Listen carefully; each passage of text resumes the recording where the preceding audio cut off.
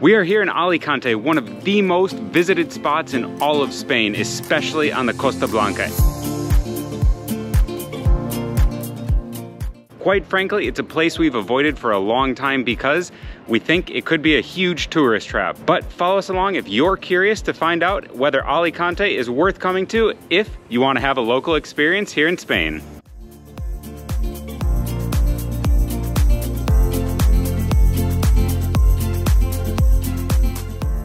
We are hiking up to the Castillo de Santa Barbara. It's quite the hike already, but we have quite a long ways to go and I hope it's a great view at the top. So we decided to hike up the backside of the castle and hopefully leave those breathtaking coastal views for when we get to the top. But right now, while we're not even halfway up, we can already see some great views of the city, as well as what looks like another castle over there and a bunch of mountains in the background here surrounding Alicante.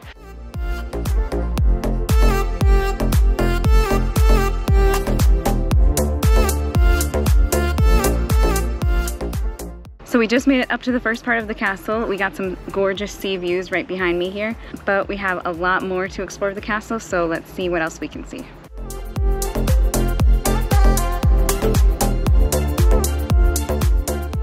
If you've been following us for a while now, you know one of our favorite things about European castles is simply being able to climb up and explore them on your own. It's so cool just being able to walk around this history. And with remarkable views like this over the Playa de Postiguet in the Mediterranean Sea, how much better can it get? So far, this castle has been awesome and we're excited to continue exploring because there's still part of it way up there and I can't wait to see the views from up above.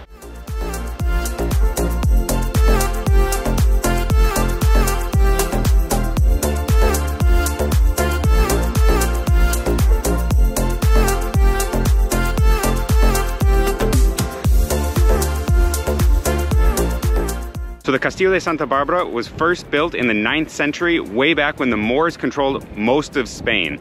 And it wasn't until 1248 when the Christians had reconquered this and changed it into the castle we know today. But just looking at the views and how it's built right up on the mountain here, overlooking the beach and the entire city of Alicante, you can see why it was the perfect place to build a castle in order to defend the entire city. And I truly cannot even imagine what it would be like to conquer this castle, and you can see why it was part of the Moorish kingdom for so long, because this had to have been incredibly easy to defend and incredibly hard to attack.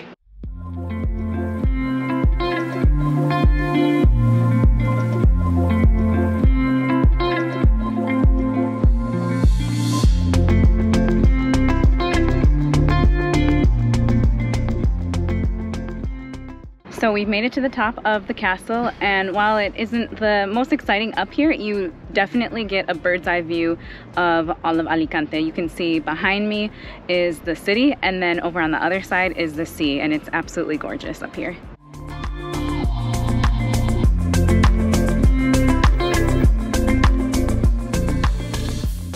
So right down there is where we were when we entered the castle after that steep hike up.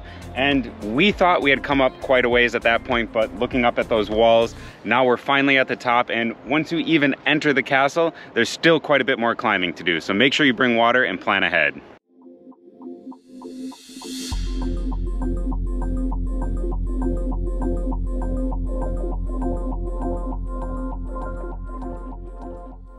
So we're back down from the castle and we decided to walk up as you saw earlier, but we decided to take the elevator down.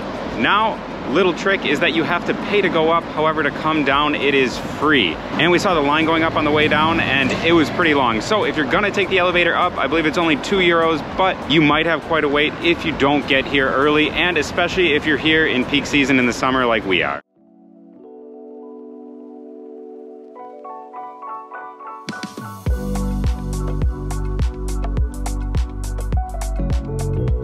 Now, obviously, no video looking at whether Alicante is worth visiting or not and what to do in Alicante would be complete without food. But we ate so much incredible food in Alicante that we're gonna put that all in a second video for you. So make sure to subscribe so you can get notified of that video right away. Now back to Alicante, find out some more things to do and whether you should visit or not.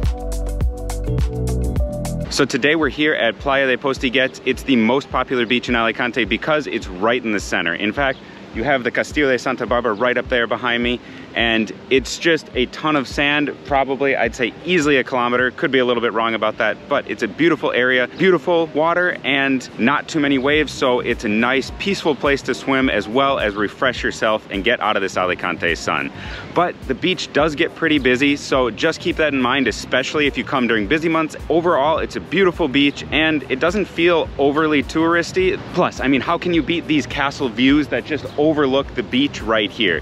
Now, of course, we are up at the castle looking down on the beach and it's just as great down here in the sun by the water looking up at this castle. It's just absolutely marvelous and a little bit of history while you relax in the sun.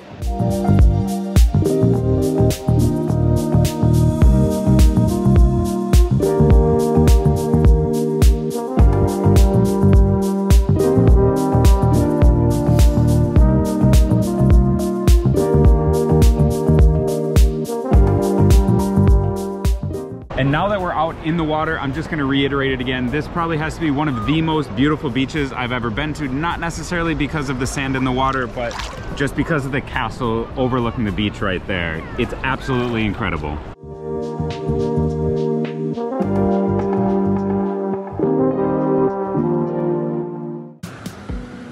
Now it's time to check out the Mercado Central in Alicante. Their main market is packed with about 300 different stalls selling everything from cured meats to incredible seafood and of course fruits and vegetables. Whether you're buying something or not, it's definitely worth it to go in, look around, and especially explore the seafood section because of the wide variety of fresh fish and seafood that they have being located right next to the Mediterranean.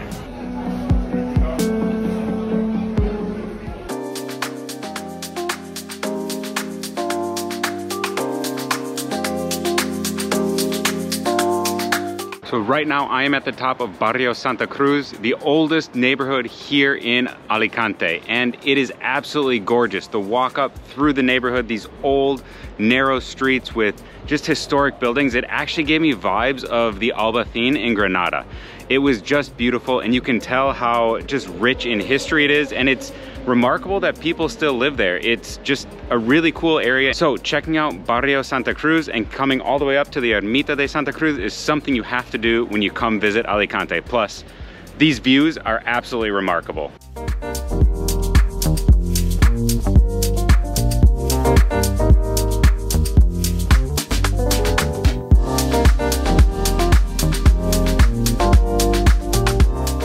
Plus, aside just from the sea, you get all these views off to the city behind me and you get those beautiful mountains of Alicante all around the background just surrounding this city. It's a remarkable place and while you're not quite as high up as the Castillo de Santa Barbara, it's an amazing view and you actually get a little bit better view of the city and right over the top of some of the buildings here in Alicante.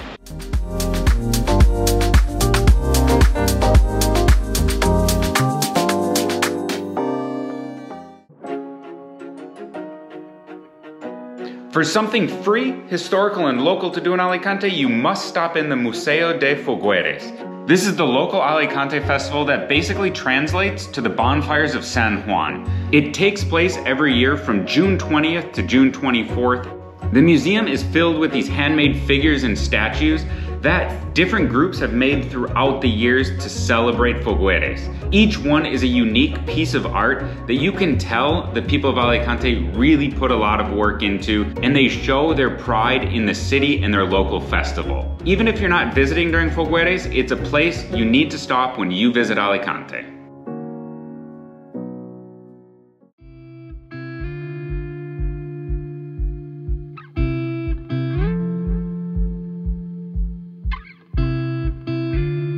Behind me right up here is the rock face on the Castillo de Santa Barbara.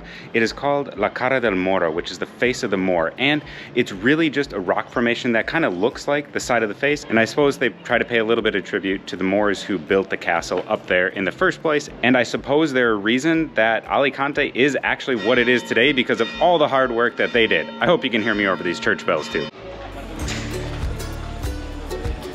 Next up for things to do in Alicante is the Mushroom Street. Yes, you heard that right, a Mushroom Street or Calle de las Setas.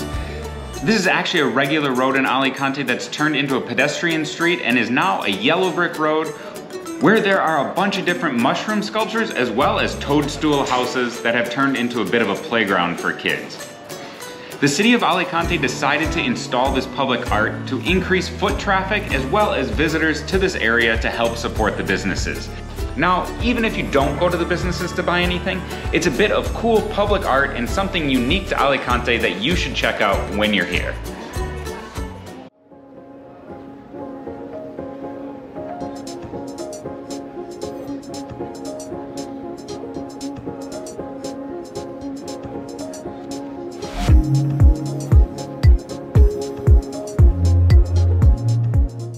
Aside from going up to the Castillo de Santa Barbara, another thing you have to do, it's an absolute must, and I would say perhaps even a little bit more than the castle is to come to the Parque de la Ereta. And that is because you just get a walk around, you get just about as incredible views of the city. And you need to kind of hike up that way instead of coming up the road like we did when we went to the castle before. That was a big mistake. You need to come up through this park so you can kind of do two for one and just climbing around these old castle walls is Again, something we absolutely love, and this has to be one of the best when you include the views of both the sea off one side to the city and mountains off to the other. It's just simply magnificent and one of the best experiences I've had hiking around a castle here in Spain.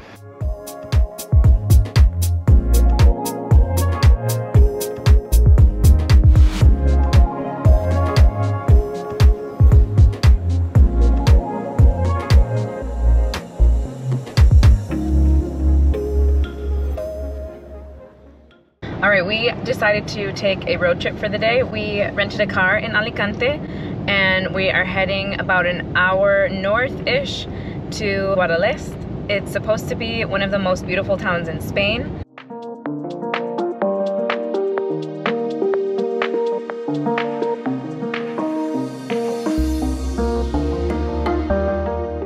So we're currently hiking up the Castell de Guadalest and we are about halfway up. You start down in a museum right down there and then you kind of go through that old house and you start walking up some stairs. It's not too steep, but we still have a little bit to go to get to the final viewpoint. However, this view is absolutely fantastic. You can see that deep blue turquoise water behind me here, the city, the narrow streets built up on the hilltop, as well as the other part of the castle and bell tower here plus down into the valley and all the way out to the Mediterranean. I'm really excited to get to the top.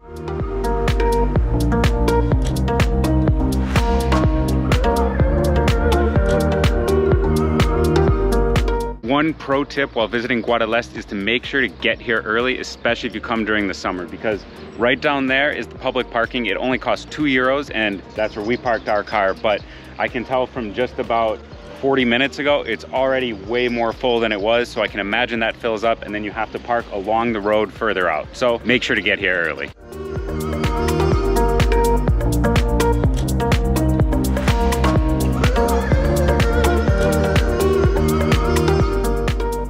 So without a doubt, the cherry on top of the Castell de Guadalest is coming all the way up to the top. It's not a super hard hike and there are plenty of viewpoints to stop along the way, but you get this remarkable sweeping view of the Mediterranean over here, the mountains all the way through the old ruins of the castle and to the reservoir below. So you definitely have to come all the way to the top.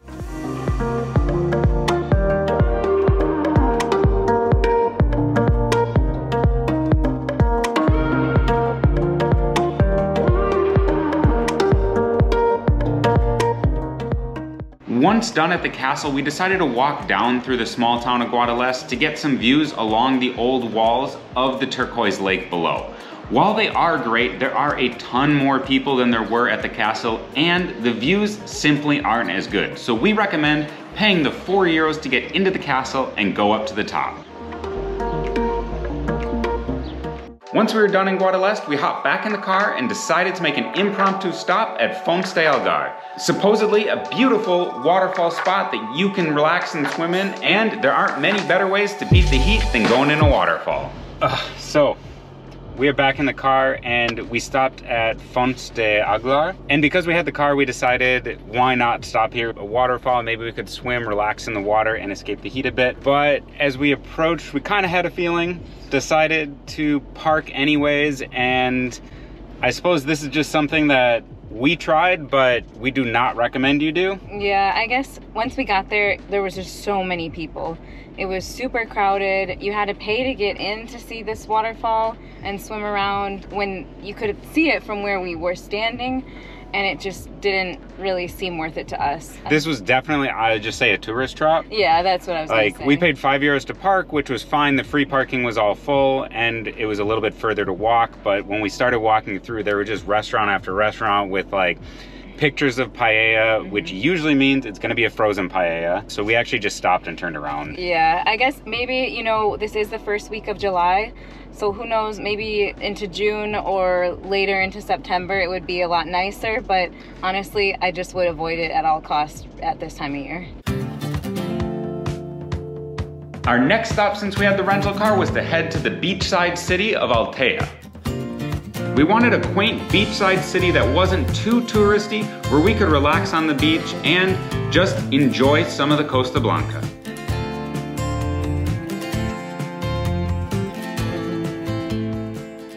It was nice at the beach. However, it was super rocky and definitely not as touristy or nearly as busy as any other beach we've been to, like even the one in Alicante, which we didn't think was too bad. But overall, it was a beautiful little city and definitely a place you might want to visit if you're in this area and looking for a town that's a little bit less touristy. So back to Alicante. Now, if you've made it this far in the video, you're probably wondering, is Alicante a tourist trap or is it an authentic Spanish location that you can visit to get a true sense of what Spain is? Well, we're happy to say that we'd rate it as a true authentic experience and now while it is the Costa Blanca so you're gonna get uh, some tourists in the city there are true Spanish areas that still hold that sense of community the food and those local bars that we absolutely love so if you really want to visit Spain but also get some of the sun and beach of the Costa Blanca, Alicante is the place to go. If you like videos like this, make sure to like, comment, and subscribe, and we'll see you over at our other videos. Bye.